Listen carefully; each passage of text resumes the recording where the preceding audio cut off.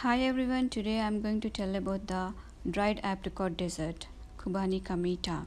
Here I have taken dried apricots 400 grams, water 1200 ml and sugar half cup or you can take as per your taste and apricot kernels to garnish.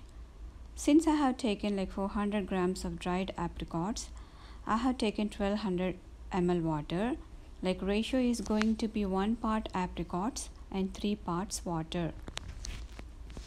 First, uh, you have to wash the apricots and then soak the apricots overnight. The next day, the apricots will swell and become soft.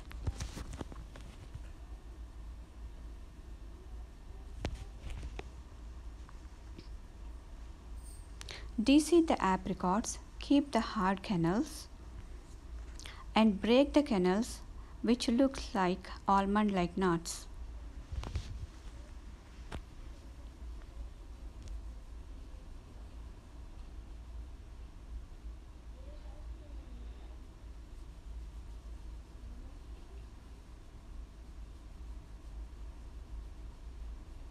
Boil the apricots in the same soaked water on a low flame.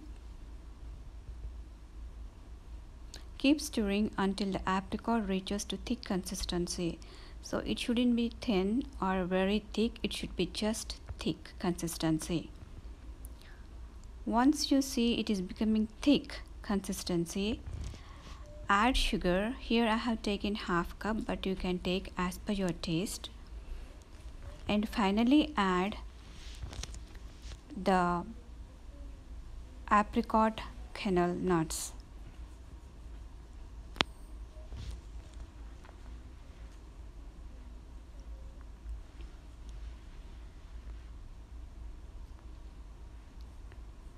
Warm or cold with vanilla ice cream or whipped cream or can be eaten plain.